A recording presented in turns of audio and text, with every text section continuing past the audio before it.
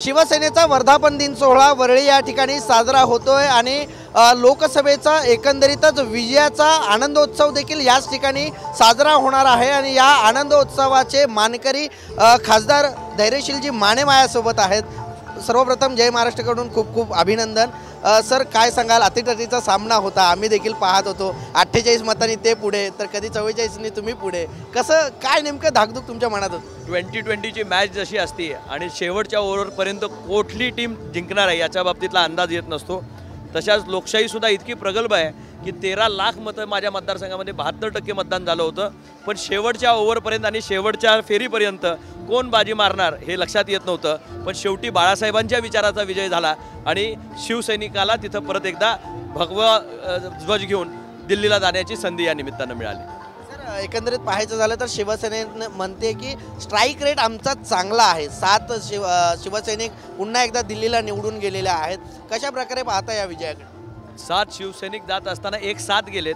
महाराष्ट्राच्या विकासाला साथ देण्यासाठी आणि साथ घालण्यासाठी शिवसेनेची ताकद वाढवण्यासाठी बाळासाहेबांचे विचार परत प्रज्वलित करण्यासाठी आणि हिंदुत्वाद जगण्यासाठी म्हणून जे या ठिकाणी सर्वसामान्य माणसानं ताकद या महाराष्ट्रातल्या शिवसेनेच्या पाठीशी पर्यायानं एकनाथजी शिंदे साहेबांच्या नेतृत्वावर शिक्कामोर्तब. या निमित्ताने ह्या इलेक्शनमध्ये झाला आणि आपण जे म्हणालात ते खरं आहे. पंधरापैकी सात पहिल्याच इलेक्शनला येणं ही विजयी सलामी महाराष्ट्राची नवी दिशा ठरवणारी ठरेल. आज वर्धापन दिन आहे.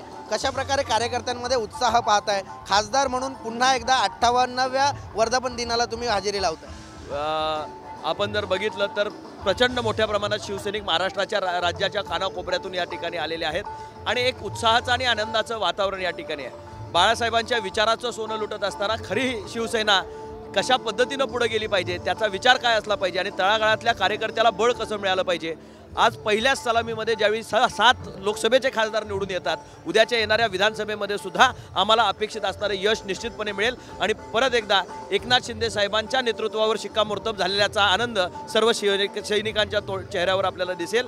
आणि बाळासाहेबांच्या विचाराला या निमित्तानं आदरांजली वाहनाची संधी सर्व या ठिकाणी शिवसैनिकांना मिळते.